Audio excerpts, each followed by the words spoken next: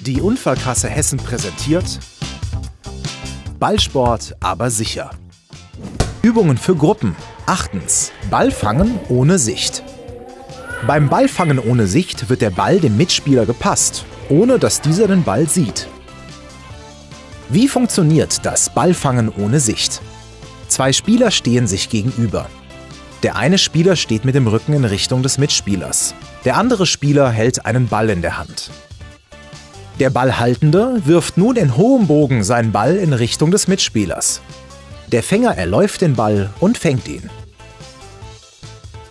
Bei der Übung ist für den Werfer wichtig, dass er den Ball nicht zu hoch, nicht zu weit und nicht zu fest wirft.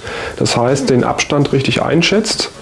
Und für den Fänger ist es wichtig, zum richtigen Moment loszulaufen und den Ball sicher zu fangen. Beim Ballfangen ohne Sicht ist darauf zu achten, dass das richtige Ballmaterial verwendet wird.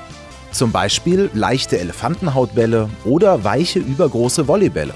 Alle nicht benutzten Bälle sollten in einem Sammelbehälter aufbewahrt werden. Außerdem ist darauf zu achten, dass zwischen den Gruppen ausreichend Abstand gehalten wird. Und dass vorher klare Signale vereinbart werden.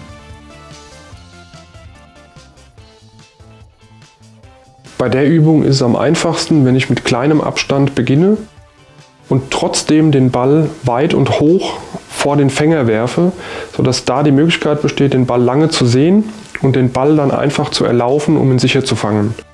Erst im Verlauf der Übung erhöhe ich dann den Abstand und werfe dann etwas flacher oder etwas näher an den Mann.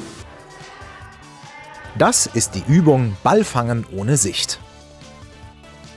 Weitere Videos für einen sicheren und abwechslungsreichen Sportunterricht finden Sie auf www.schulportal-hessen.de unter dem Suchwort Ballsport oder auf unserem YouTube-Kanal youtube.com/unfallkasse Hessen.